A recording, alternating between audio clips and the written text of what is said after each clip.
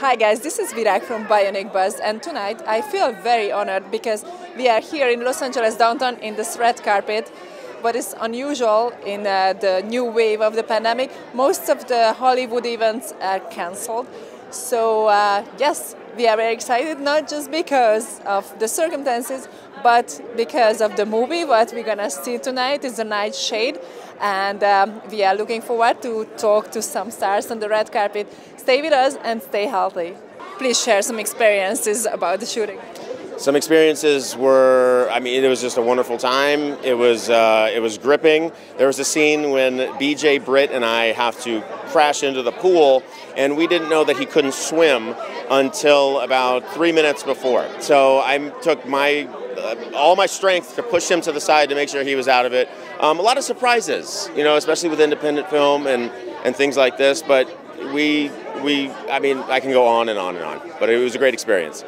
Have a shooting day, what you could highlight because it was challenging or funny, or uh, what's your favorite?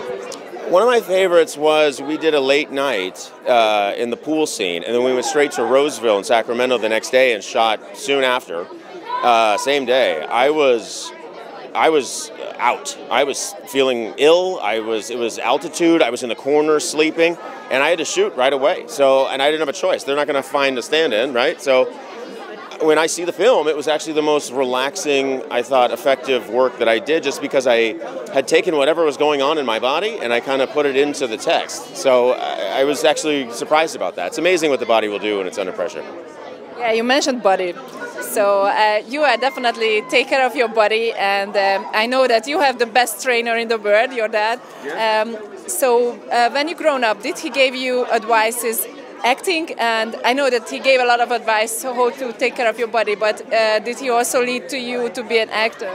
He always supported me being an actor. He has a, a, a severe hearing deficiency. Uh, from a ear infection when he was about two years old, and he would always say, "If if I had my hearing, you can do it because you have your hearing and you can do this." And he always encouraged me. Never put pressure on me to do any sort of betterment to my body, but he was always just a great support system and a pillar for my success. And have you ever felt, just because your dad is, uh, you know, everybody knows him, uh, have you ever felt growing up next to him? Uh, to be in his shade, it's a problem. I mean, literally to be in his shade because he's shadow. Yeah, yeah, yeah, shadow. Um, I mean, he's such a massive guy. I'm always going to be in the shadow to some degree. You know, no matter how big I get, he's just always that much bigger. But I like to say that I'm growing in other ways that's going to overshadow him. But you know, I, I love my father. I support him. He's always been so great, and I am, and it's I'm taken aback by the love and adoration that people have for him still to this day. He's working nonstop. He's one of the most uh, prompt, um, dedicated individuals I've ever met, uh, and he's you know he's been successful in, in many different ways. Did you celebrate Christmas together?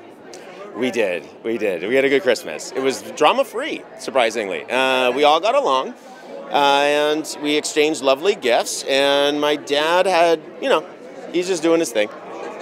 What is your plan for 2022? Any New Year's resolution, new project? Hmm.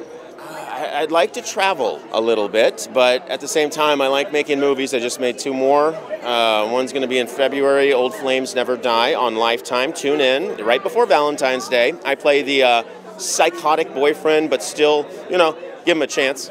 Um, and then I just finished in Atlanta a romance novel film adaptation called Resisting Roots. That's coming out, and also um, I haven't. I'm on an NDA, but I just shot a nice HBO pilot um, in Tucson, and it's going to be exciting. So big year. It sounds like your spectrum, acting spectrum, is so big. So what, any personal favorite? Uh, I mean, this is this one has got to be it. I mean, it's my first real carrying a picture, and it's it, I play two different sides of a character, and I got to take some chances and make some bold choices that I'm very proud of. So I hope you enjoy it.